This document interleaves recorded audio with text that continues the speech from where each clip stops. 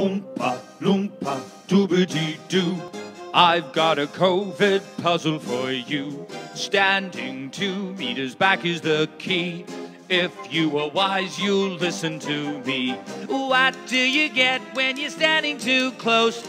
I'll tell you what, it's a corona dose.